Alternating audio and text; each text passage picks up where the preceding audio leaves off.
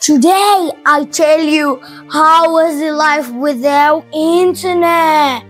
Can you imagine a life without internet and no online games, no WhatsApp, no YouTube, no Google, nothing?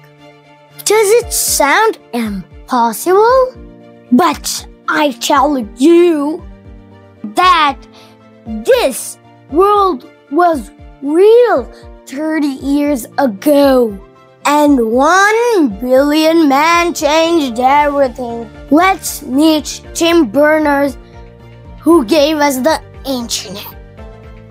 Now I tell you, how was life without internet? A few decades ago, people used computers, but those computers were not connected to each other. You could not send an email or search anything online. Each computer was like a lonely island. Let's meet the man behind this big idea of internet. A scientist called Tim Berners in Switzerland in the year of 1989 had a big idea.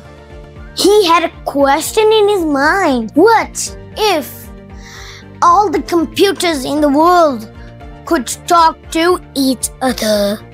And you know, friends, he was not trying to become rich or famous. He just wanted to help people to get connected together and learn.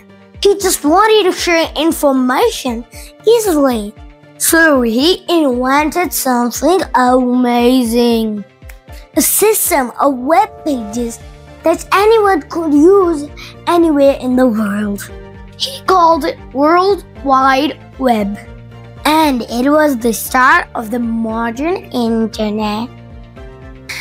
Do you know the important thing is that he did not say people that give me money and I'll share you my idea. He shared it for free with a lot of people.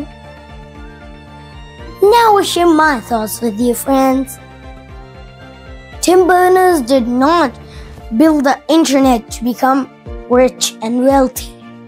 He built it to connect each other and learn. And today, billions of people use internet every day because of just one man idea. So again, you don't need to build something big. You just need to solve a real problem and share it with the world. Now, would you tell me in the comments that what's your favorite thing which you do on internet?